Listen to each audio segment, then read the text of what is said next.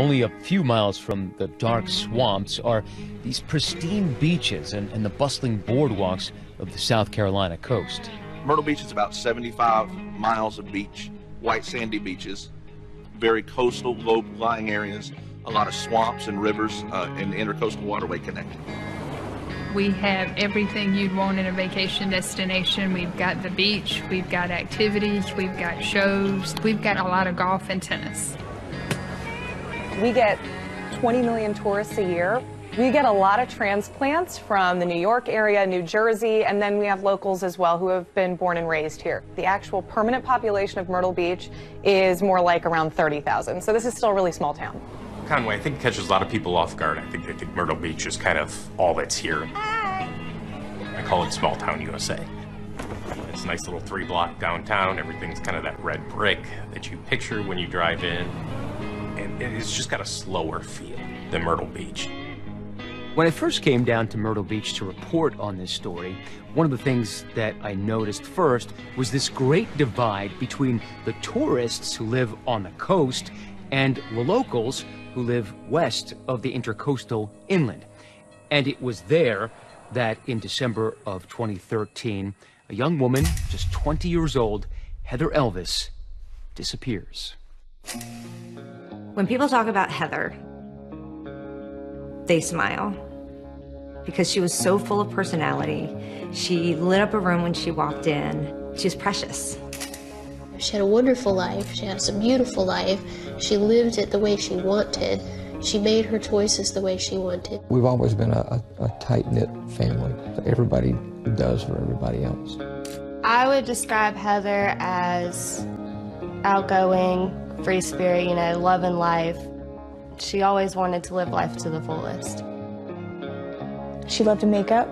She wanted to be in front of the camera and behind the camera and design everything that she wore in front of the camera. She didn't understand boundaries when it came to dreaming.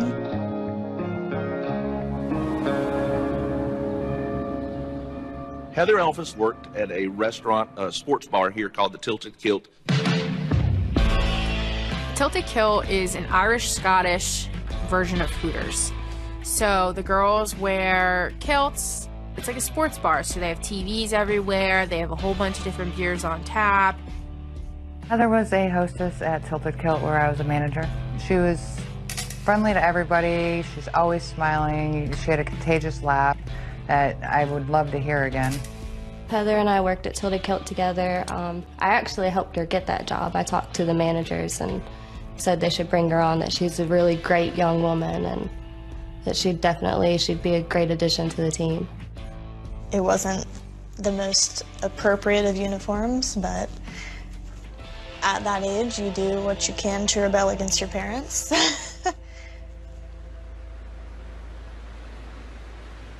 Heather really didn't give a crap what anybody thought about her. Huh. She was a very free spirit and she expressed herself how she wanted to and she might have come off abrasive to some people, but she was just, she was very real.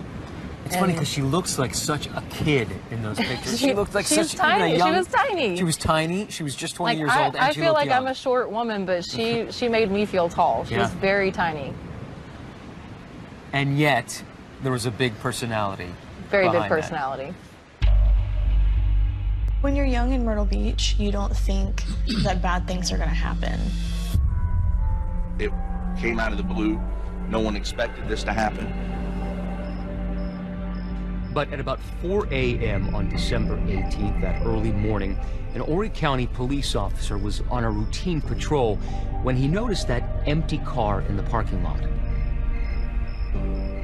He got out because it was suspicious that there's a car there this time of night. There's no lights, there's nobody around.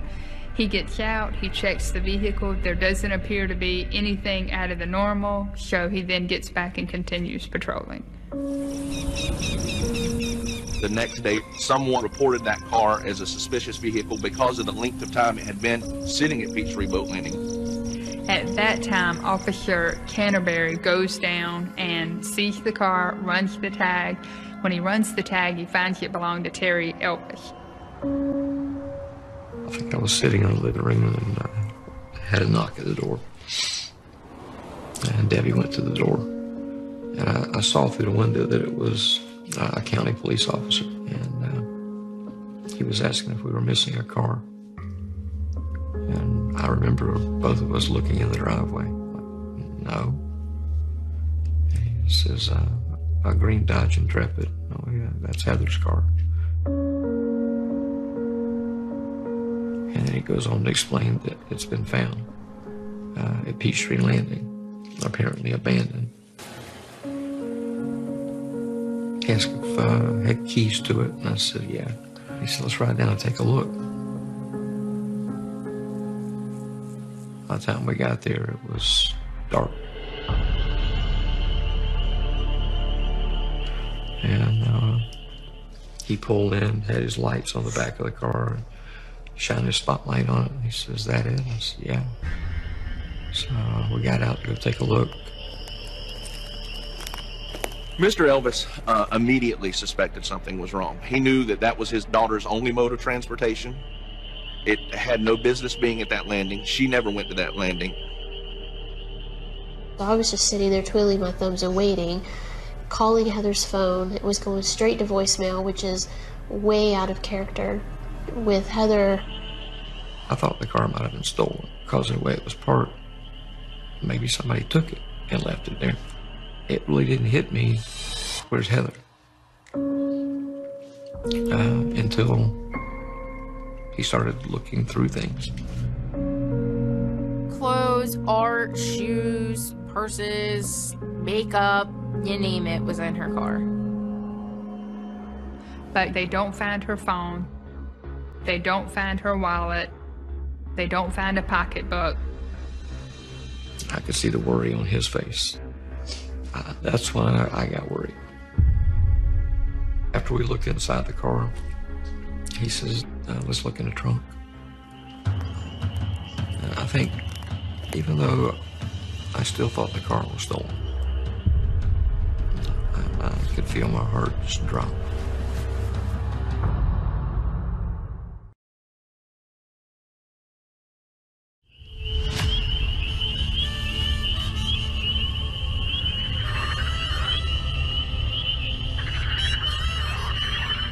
Tonight near 40 inland will be in the mid 40s right along the immediate coast.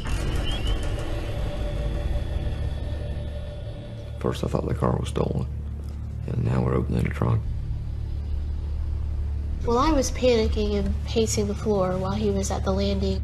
So I put the key in and turn it and open the trunk, and I look away.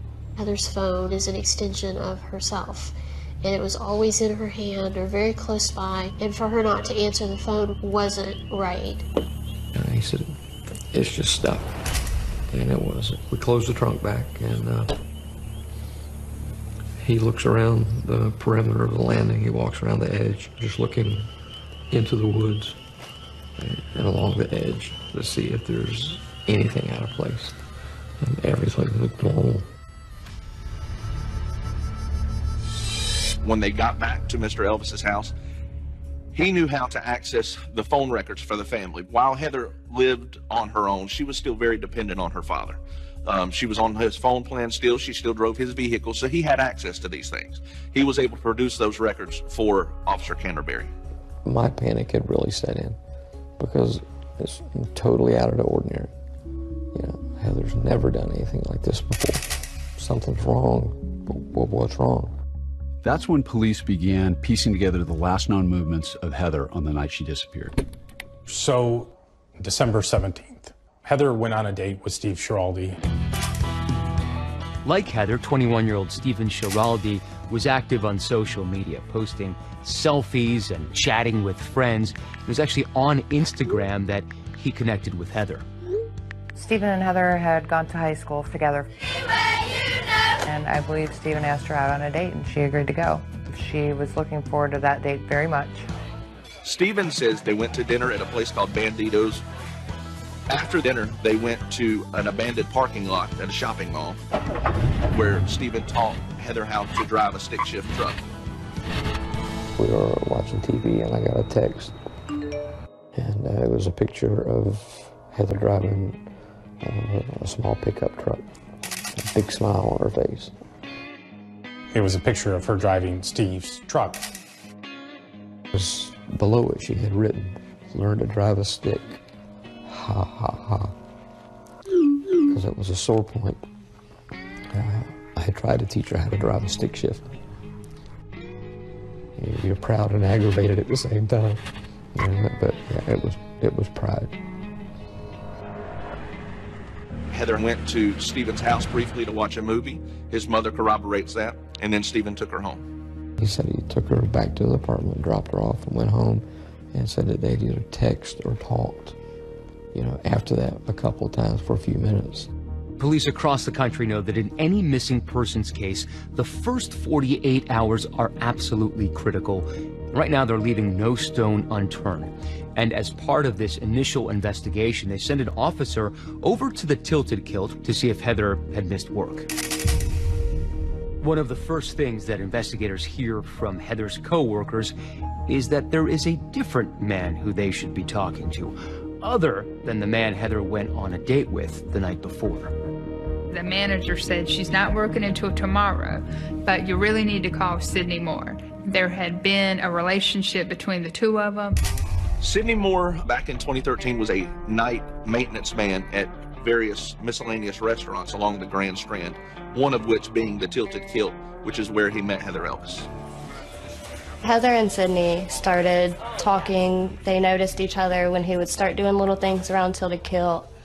She noticed that, you know, he was good looking, he had a good attitude, and she she went for it. Now, he may have been good looking, but he was 37, which made him 17 years older than Heather Elvis. Sidney and Heather's relationship was certainly sexual in nature. I think that was a big driving force in that relationship. Sidney and Heather were having sex all the time, anywhere that they could. There were allegations that there was sex in the restaurant nearby during work hours, everything else. That did not make me happy whatsoever. So I did ask her about it. I confronted her about it. What was the actual nature of their relationship? I mean, most people would call it a sexual relationship, but from my opinion of talking to her, they were in love. How long was it before that everybody knew that they were an item? Uh, I want to say it, it was probably like the end of summer, early August, maybe. Having known Heather since we were little, it was a little surprising, but Heather was always a risk taker. She was pretty rebellious. She was one of those people when you told her no, it only wanted to make her do it more. She always wanted what made her happy. So I guess Sidney just made her happy when they were together. And like so many other people Heather's age, she shared her thoughts and her musings on social media, whether she was happy or sad, and she did so pretty frequently. I think for any 20 year old, there's a strong uh, social media presence and used it for everything, and that's their main form of communication. They're on Twitter, they're on Facebook, and there's not a great filter there. Heather did enjoy social media, and I think that that was one place where she could express herself openly and wouldn't be judged for it. There's no telling what would come out of that girl's mouth. she uh, she posted a lot of a lot of off the wall things, you know, at random times of the day.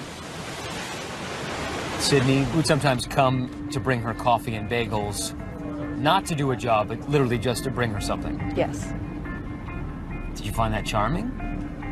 It was cute, even though we all thought that it was wrong on so many levels. I knew that she was talking to a boy named Sidney, uh, that he was sweet and she was smitten.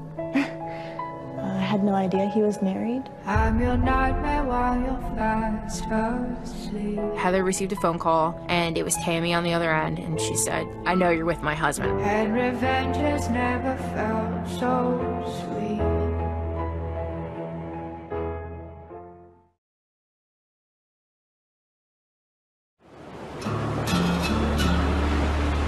At this point, Heather was missing.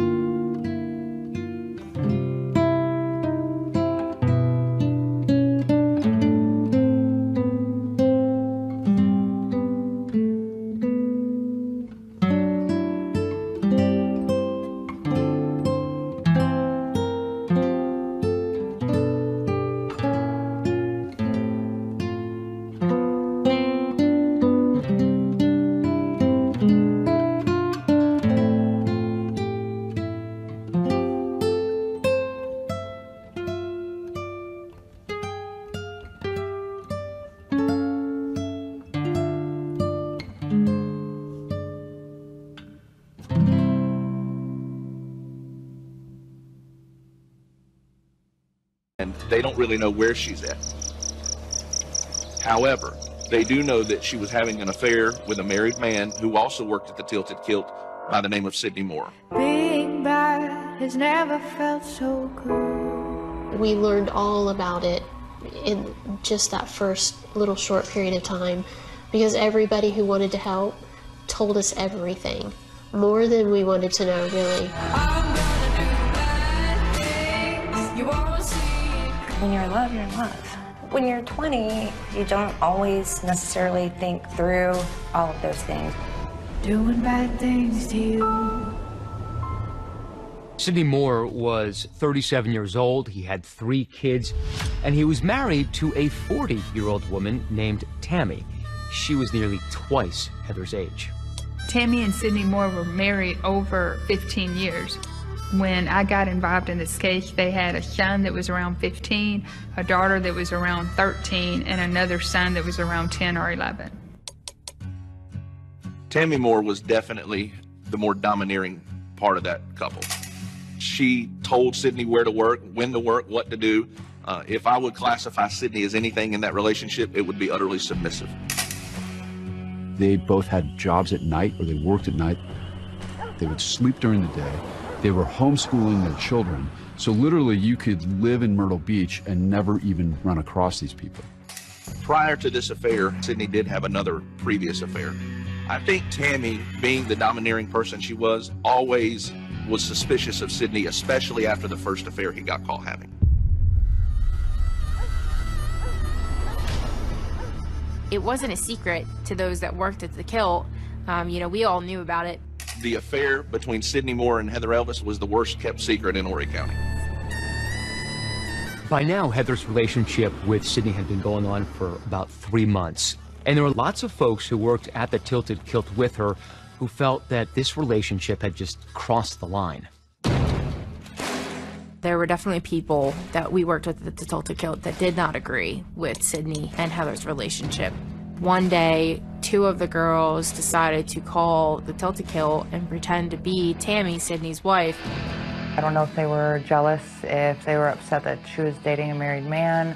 They decided to make a prank phone call and said, This is Tammy Moore. I know about you and my husband. I need you to stop right now. And when Heather got that phone call, she totally freaked out.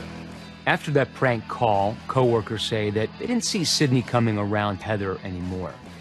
Then, by the end of October 2013, Sidney and Heather's relationship completely unraveled when Tammy found out, for real this time, about their affair.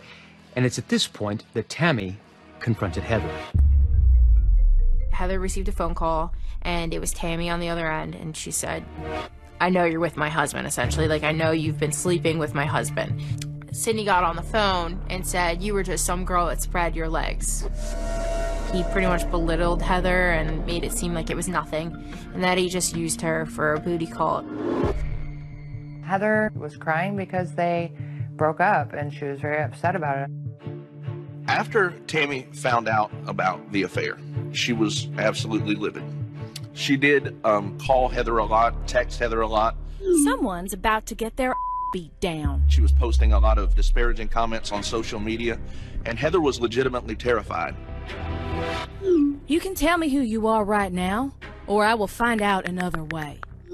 Nobody you need to worry about anymore. And what did they say? Do you remember? Oh, she was threatening her. Hey, sweetie, you ready to meet the missus? Basically, just letting her know that she was there and she knew. And what did she say? Are you ready to meet the missus? That doesn't sound that bad. Well, she did mention something about Sidney taking his last breath. Your is about to take his last breath. And Tammy was relentless. She would call her nonstop for hours and hours and hours. She would call off Sidney's phone.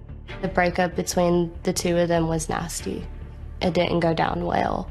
Um, it ended with threats. I'm giving you one last chance to answer before we meet in person. Only one. She was sending pictures of her and Sidney performing sexual acts, videos of, you know, the two of them together, I guess kind of to taunt Heather. Heather didn't shy away from responding. I think you're a little obsessed with me. Nah, it was a bore.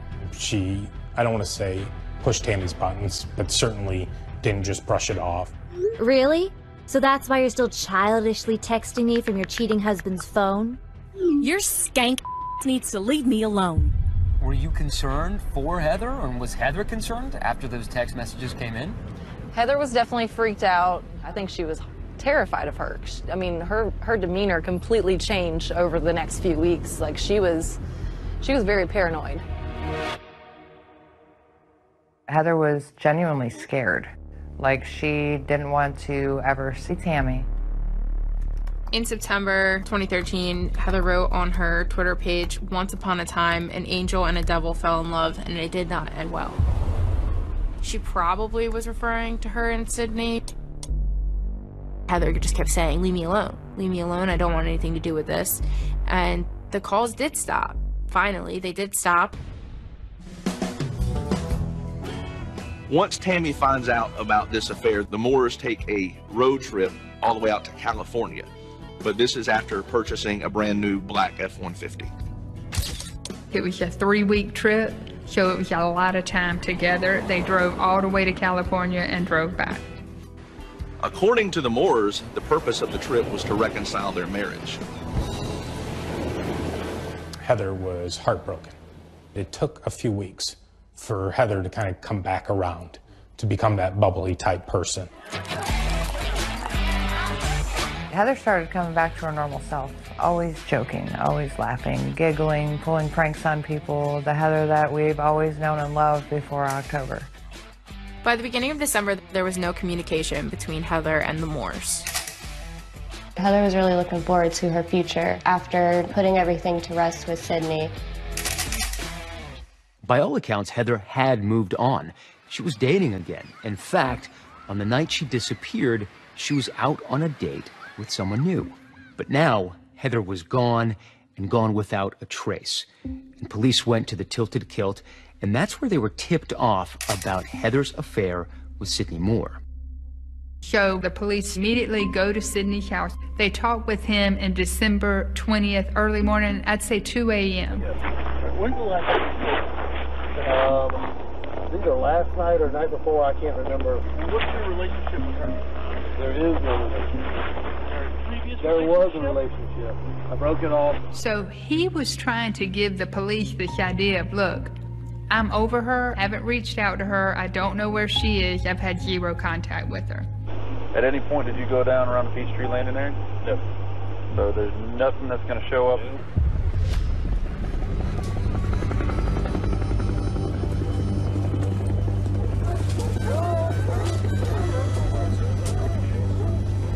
Is there anything you want to say if she happens to be watching right now? Heather, if you're watching this, if you can see it, if you can hear it, we miss you. We want you home. Tell me where you're at. I'll come. Doesn't, doesn't matter where. Doesn't matter when. Doesn't matter why. Just tell us where you're at.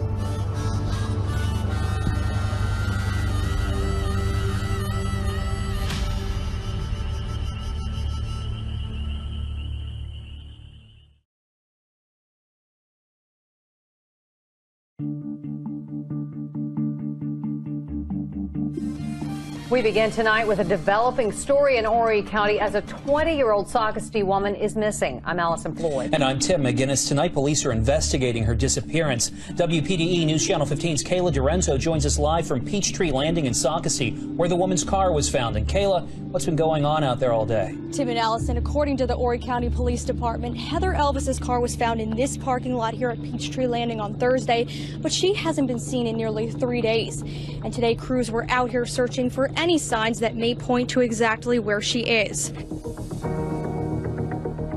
Originally, this case was just assigned out as a missing person. We did not know or have any reason to believe a crime had been committed in the beginning. The car showed no sign of a struggle. There was no blood, no broken glass, nothing to believe that a crime had been committed.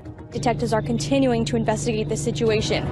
So while crews were searching for any physical trace of Heather at Peachtree Landing, police were combing through her phone records, and almost immediately they noticed an unusual number of calls to an unfamiliar number. They then find out the number belonged to a payphone and that the payphone had called her phone that very early hour of 1:35 a.m. And then she immediately is calling the payphone back. Heather dials that payphone back nine times. Not eight, but nine times. The only reason she could possibly be calling that phone nine times that she's never heard of before is to get the other person that just talked to her back on the line. They find that the payphone has surveillance video. They pulled the surveillance video. It was very grainy. You see an individual walk to the payphone. He's on the payphone over five minutes. Even though they didn't know who it was, they had evidence then that the payphone had been used. They call Sidney Moore back. They bring him into the police station for a more formal interview. Horry County Police begin questioning Sidney about his whereabouts on December 18th, and he tells them that he and his wife Tammy were going around doing errands. And at one point, they stopped at a Walmart. Was that Walmart actually? In Which Myrtle Beach. Walmart? Myrtle Beach Walmart. Yeah. Was your wife with you Yes. the whole time? Yeah, she was with me the whole time. They asked him about the payphone call. Had you used any other phones that night? Your wife's phone? No. Did you make any payphone calls? Nope. I still have payphones. Who makes a phone call today from a payphone? Sidney Moore has a cell phone. Tammy Moore has a cell phone. And Tammy Moore used that cell phone to great length to harass and essentially stalk Heather Elvis. They were calling from a payphone to hide the call. There was a phone call made to Heather that night from a payphone at the gas station on 10th Avenue. And we have video from that. Okay. Did you try calling her just a minute? No. A second? You sure? Maybe. Okay, how about we start again? I, I did. I called her from Okay, the payphone. let- what did you say? I asked her to please leave me alone. It sounded like a very innocent explanation, but Heather's roommate Brianna tells police a very different account of that phone call.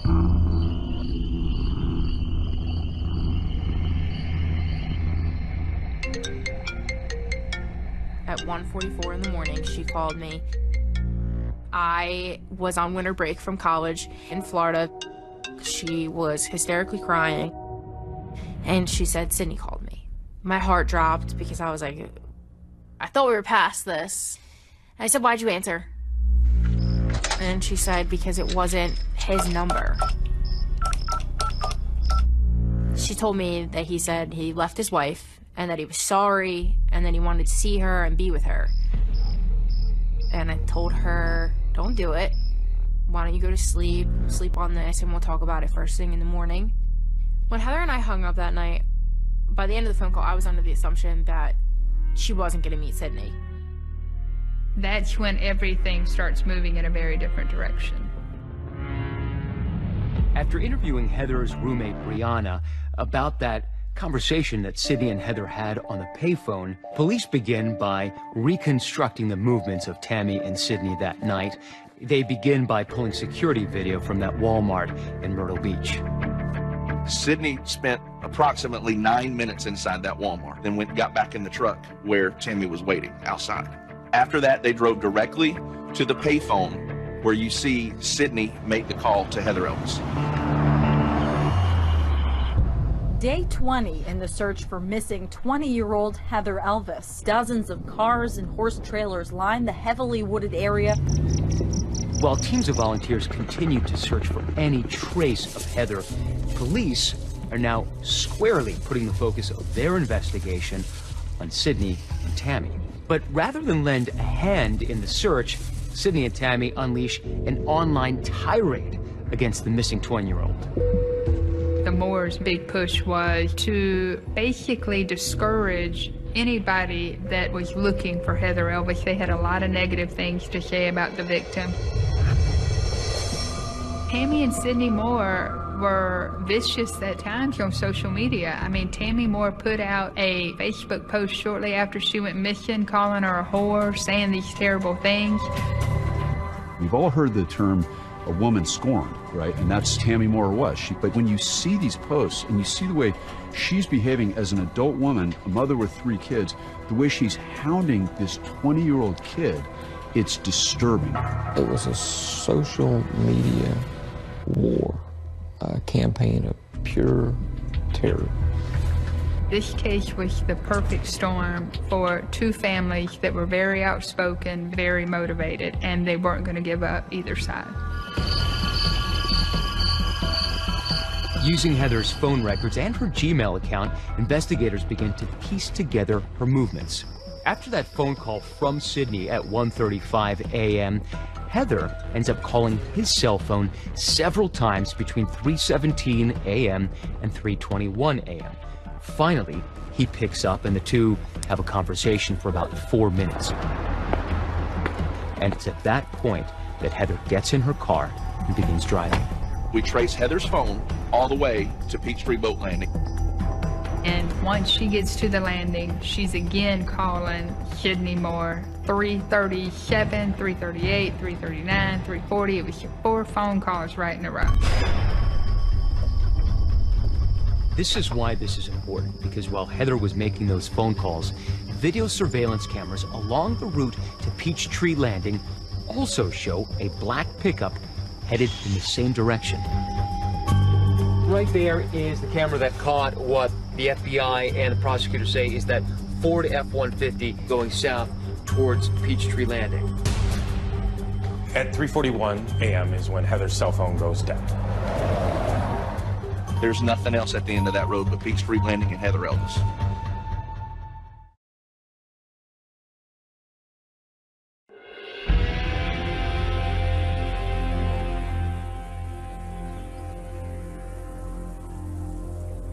Think anytime you have a missing person, the pressure on law enforcement is immense. Not so much from the community, but you have a family that's missing a daughter and they wanted to find her. We had the payphone call, which still wasn't enough. Then we kind of had to chase down what Sidney Moore told the police to find out what was true and what wasn't true. During this time frame, we also started beginning looking for surveillance footage along 814 and Mill Pond Road. When you look at a map, it's immediately clear that driving Highway 814 and Mill Pond Road is the quickest way connecting Peachtree Landing and Tammy and Sidney Moore's house. In fact, they're only four miles apart. So right up here is a surveillance camera that captured the image of a truck that looked very much like the one owned by Sidney and Tammy Moore driving towards Peachtree Landing. There's nothing else at the end of that road but Peachtree Boat Landing and Heather Elvis. Heather's phone dies, and then you see the truck immediately coming back across the same two cameras, heading back to the Moore's residence. So assuming that whoever was doing this was roughly driving the speed limit, they only had about 60 seconds at Peachtree Landing to do whatever they were going to do and get back on this road in time to be captured by those surveillance cameras at 3.45 a.m. At the time, Sidney Moore and Tammy Moore owned a 2014 Ford 150 truck. Horry County Police Department found there was only one, and it was Sidney Moore, who also happened to be the only person that lived that close to the landing on that truck. Once investigators discovered that apparent link between Heather's disappearance and Tammy and Sidney Moore, they pay a visit to their house. Originally, when the officers showed up at Tammy and Sidney Moore's house on December 20th of 2013, they noticed that there were cameras up outside the house. The goal after they saw that security system was to get a search warrant. However, once they went back, they found out that the surveillance system in there was a new system and that it had not recorded anything on December 18th of 2013. They had no idea what was on the new system, but they knew that they, out of an abundance of caution, they needed to seize that system. Investigators also scoured the Moore's black pickup truck looking for clues, and they made an important discovery. It was a brand new F-150, fully loaded, had all the bells and whistles. In this truck was a GPS navigation system. We learned that it was possible to disengage this system, and that's exactly what they did. It's like a camera SIM card. You push down, it'll pop out. When you take it out, warnings will show up all over your vehicle. So It could not have been a mistake. It had only been taken out once, and that was the night she went missing. Two months later, the police they arrested Sidney Moore and Tammy Moore. They told us that morning that they were going to do it. They actually had uh, officers come and sit with us at home uh, to make sure that we were there and we were protected and we knew what was going on. Sidney Moore and Tammy Moore were the two people that were taken into custody earlier this morning. The breakthrough in the case came from a discovery made by Elvis's father. He says after he looked up her cell phone records. That number, the parents telling ABC News, belonged to 38 year old Sidney Moore. It was a relief to know that something was getting started. We're going to begin with a break in the case of a young woman who simply vanished. Two people have been taken into custody. Both Sidney and Tammy Moore are being held here at the J. Reuben Long Detention Center. Immediately in this case, the defendants, the victims, everyone went to social media. It was like wildfire. It spread exponentially in, in a matter of hours. What began as a case dividing two families who lived just five miles apart quickly consumed the entire town. At this point, it seemed like everyone had an opinion. It seemed the whole town took sides. This was probably the first case where the social media took on a life of its own. I don't think anybody had seen anything like this case. I've never experienced anything like it, where there were so many so-called facts that came from somewhere but did not come from a police investigation. The state asked for and the judge granted them a gag order. The order prohibits all parties, including defendants, prosecutors, and law enforcement agencies, from speaking to the media. And because of the severity of the alleged crime, Tammy and Sidney Moore were denied bail and sent to jail for almost 12 months.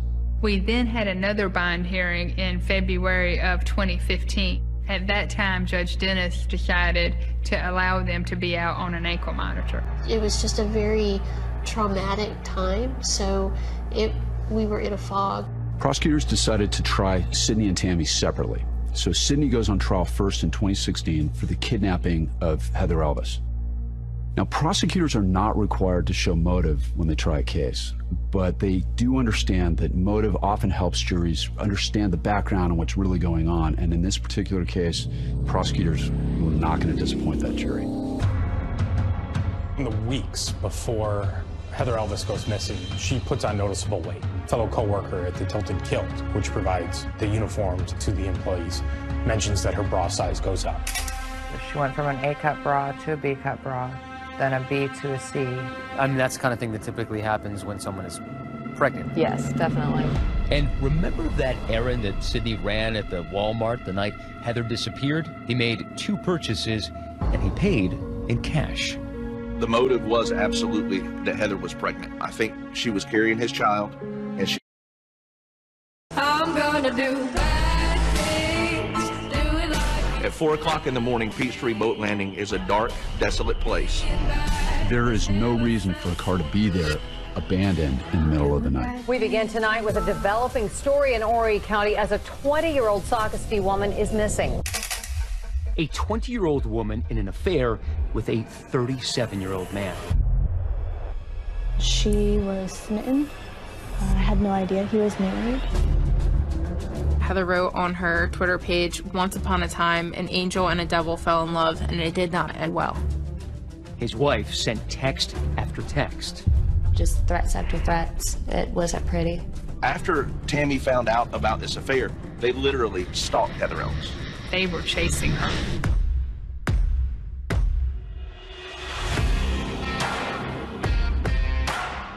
We are here because she can't be. Then a second look at images from a security camera. That is when prosecutors dropped a bombshell that nobody saw coming. There was a gasp in the room. I was just like, holy crap, this is it. Why would a defendant defy a court order just hours before she's set to testify?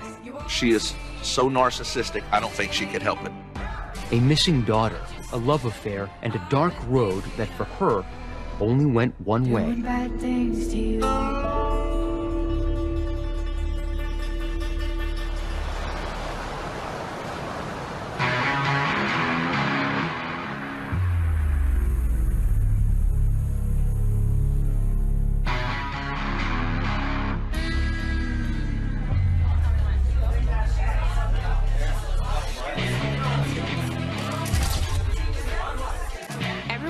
At to Kill knew about Cindy and Heather's relationship. It wasn't a secret.